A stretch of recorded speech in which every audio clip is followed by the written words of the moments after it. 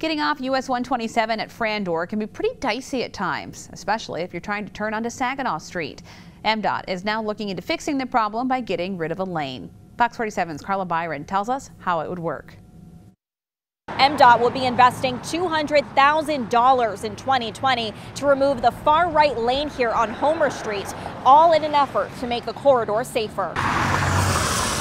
It is really scary. I mean, it's just a, real, a lot of high-speed traffic. Tim Potter is the founder of the Lansing Bike Party. He and other bicyclists often cross North Homer Street near US 127 to get to East Lansing. So they just tend to drive faster, and so if you're trying to get across that, it's just it's just scary for for people on bikes or walking, jogging.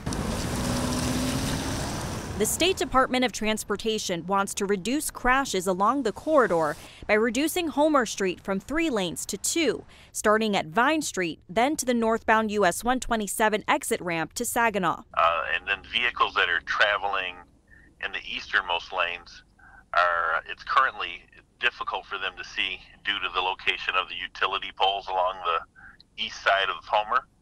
So this lane reduction will shift through traffic to the west and reduce crashes by improving sight distance on vehicles on Sellers. The money is funded through MDOT's safety program, which is split between federal, state, and City of Lansing funds. For Potter, the project is a welcome change. Anything that can slow down the traffic is, you know, increases the safety of a roadway. The public will have a chance to ask MDOT staff any questions they have at the meeting. Reporting in Lansing, Carla Byron, Fox 47 News. The public meeting is next Thursday, June 27th at 4 p.m. at the Spicer Group Incorporated office on Homer Street in Lansing. It's between Michigan Avenue and Saginaw Street.